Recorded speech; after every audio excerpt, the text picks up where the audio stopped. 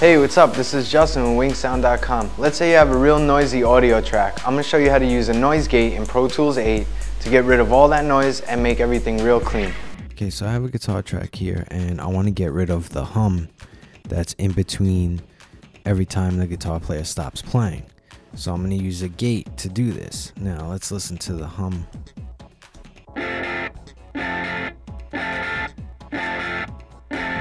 So you could hear every time he stops playing, there's the feedback from the amp coming through as the hum, and I want to get rid of that. So to get to the uh, expander gate, you go to plugin, dynamic, and expander gate.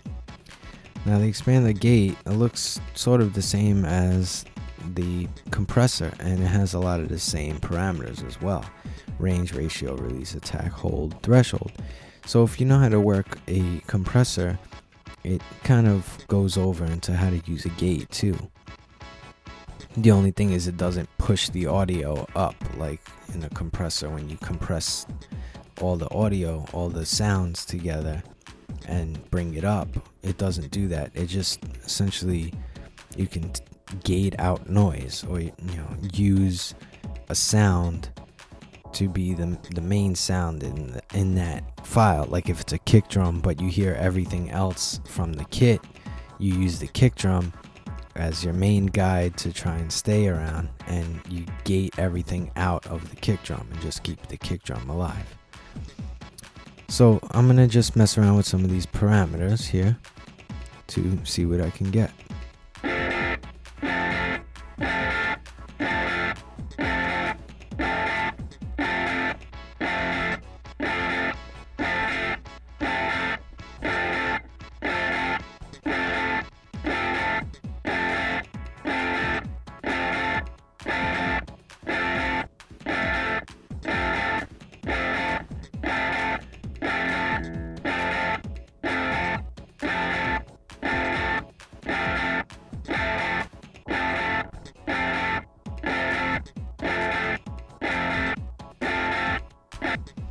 Okay, so just with a few quick adjustments, I got rid of it. Now I only move the threshold and the ratio because I have a very fast transients. So my attack, I want it to be fast because I want the gate to react really fast. Same thing with the release. I don't want the release to be long. I want it to be fast because the playing is fast.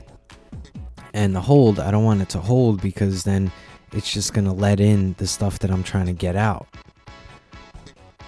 And the range, I leave it at my, I left it there because I don't want anything past what my threshold is set at. So I, you know, I usually kind of work with threshold and ratio first, and then mess around with the other parameters because those ones really, for me, are the you know the easiest to get into to figure out where I need to go with everything else. So I'll play it again with and without the gate.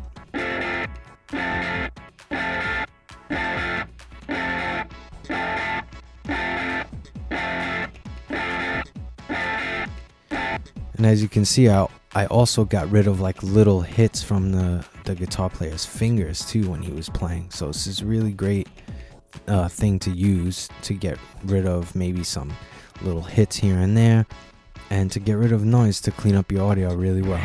You can always get in touch with Justin at winksound.com and check out more of Justin's videos, including these titles featuring the new Pro Tools 8, now available on demand at winksound.com.